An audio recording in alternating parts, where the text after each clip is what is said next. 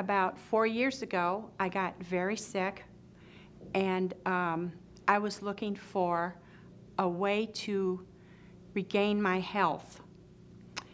And um, I started on a journey, and I learned many things.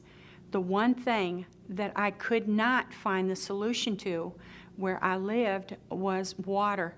I learned that um, tap water, reverse osmosis water, and um, uh, um, ta- uh, let's see, tap water, bottled water, and reverse osmosis water is acid. And um, I didn't have a solution. So um, I have a friend of mine that does a very special test for us, and she left me a DVD, and she said, Joyce, please take a look at this.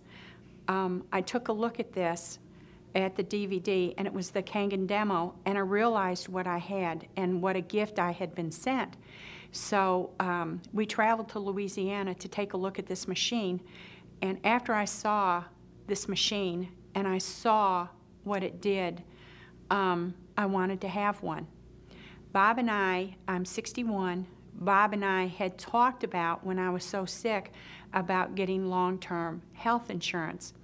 So when we found out about the price of the machine, we thought about it, and I told him, I said, Why are we investing in being taken care of in a sick state? Let's invest in our health. So we cashed in some of our stocks and we bought our machine. And that's led me to a wonderful, wonderful path. I have one of the things that I learned on my path back to health was a special test. It's called live blood analysis. You can actually see what's happening in your blood. Well, whenever I would have this test done, I was always going and they would say um, mineral deficient, mineral deficient, mineral deficient. I was going and I was taking supplements. I doubled them and I even tripled them, thinking that my body was just depleted. I was at the point of believing that it was my body that was not absorbing the minerals when I found the Kangen water and I began to, to understand. I went and um, Bob and I uh, had my blood test done. I've had my machine now for 11 months.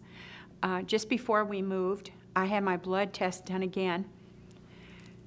This is the first time in four years I have gone no mineral deficiencies. I have had a liver challenge ever since I was in my 20s. And every time they did the test, the test would always go and show liver stress. When I saw my blood this time, there was life, there was energy. I did not have the mineral deficiencies anymore. And for the first time in four years, no liver stress. The water is healing me from the inside out.